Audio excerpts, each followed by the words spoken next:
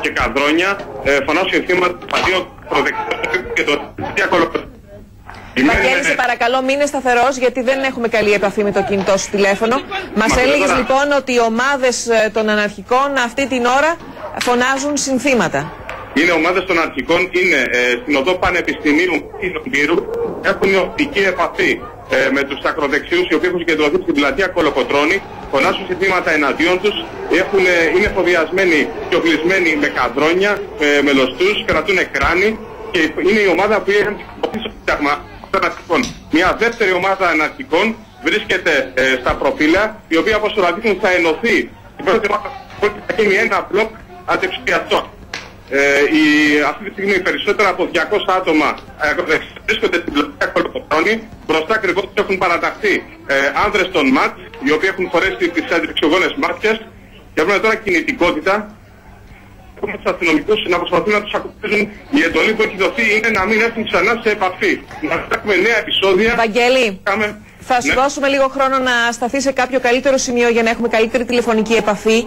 Εν τω μεταξύ, πάμε στην Ειρήνη Ανδρουλάκη, καθώς έχουμε συγκέντρωση Ειρήνη Αναρχικών αυτή την ώρα στο Σύνταγμα.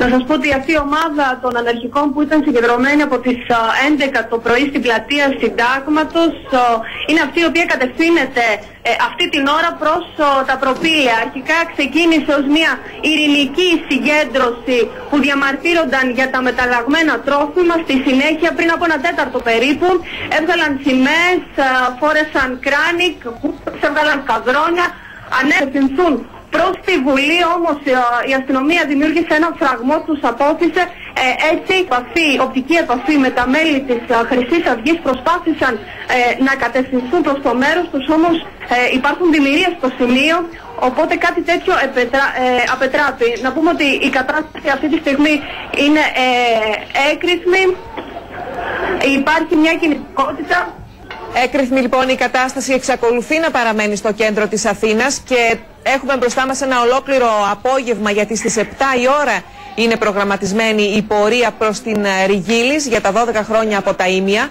Μέχρι στιγμής Δήμητρας Σωτηριάδου έχουμε τέσσερις τραυματίες. Ποια είναι η ε, κατάστασή τους; Έτσι είναι Λίνα, ε, είχαμε δύο τραυματίες με πέτρες στο κεφάλι. Ε, τους δόθηκαν βέβαια οι πρώτες βοήθειες στον Ευαγγελισμό έχουν φύγει. Είχαμε όμως και άλλους δύο τραυματίες που δέχτηκαν μαχαιριές. Ε, ο ένας μάλιστα χτυπήθηκε στην πλατεία Κλασμόνος με μαχαίρι στο πόδι. Ο δεύτερος που είναι πιο σοβαρή κατάσταση έχει έρθει στον Ευαγγελισμό. Αστυνομία είναι στα επίγοντα αυτή την ώρα, είναι περίπου 30 χρόνων. Ε, αυτή την ώρα ε, είναι στις πρώτες ε, στα επίγοντα, αναμένεται να μπει σε χειρουργείο. Έχει, έχει δεχτεί χτύπημα μαχαίρι στην κοιλιακή χώρα. Βέβαια μας λένε ότι δεν εμπνέει η ανησυχία η κατάστασή του. Μάλιστα. Αναμένεται όμως να του έχει χειρουργείο. Πάμε ξανά στον Βαγγέλη Γκαϊντέ. Βαγγέλη, την εικόνα που ναι.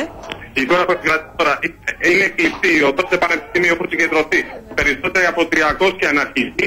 Έχουν κλείσει τον τρόπο, κρατούν ε, καδρόνια, κρατούν λοστούς, έχουν φοράνε κράνη ε, και φοράνε θύματα να το Συνειδιάστηκαν σήμερα. Δεν περίμεναν ότι θα ερχόντουσαν σε επαφή οι δύο ομάδες μέρα μεσημέρι. Περίμεναν ενδεχομένως κάποια επεισόδια πιο αργά.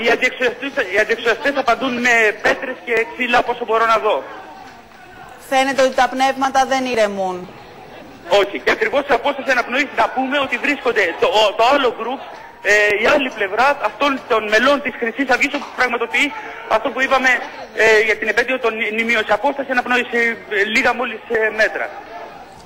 Ενώ κατεβαίνει κόσμος ε, έτσι κι αλλιώς στο κέντρο άνθρωποι που ήθελαν να λάβουν μέρος στις διαδηλώσεις αυτές, τα πράγματα φαίνεται πως δυσκολεύουν ώρα με την ώρα χάρη. Δεν υπάρχει κανένας λόγος να κατέβει ο κόσμος στο κέντρο της Αθήνας. Πραγματικά το κέντρο της Αθήνας έχει χωριστεί σε δύο στρατόπεδα, σε δύο ακραίες ομάδες που η μία είναι έτοιμη να επιτεθεί στην άλλη. Και το βλέπουμε ε, εδώ και πάρα πολλή ώρα.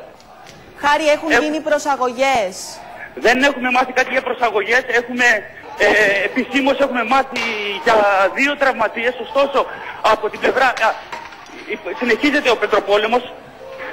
Συνεχίζεται ο Πετροπόλεμος. Συνεχίζεται ο Πετροπόλεμος. Η, ναι, οι συγκεντρωμένοι ξεκολούν πλακάκια από το, μπροστά από το ζάδι και θα εκτοξεύουν στους αστυνομικούς. Έχουν ανάψει φωτιές σε κάδους. θλιβερές ε, οι εικόνες που, μετα- που μας μεταφέρεις ε, Χάρη Μπόλκα.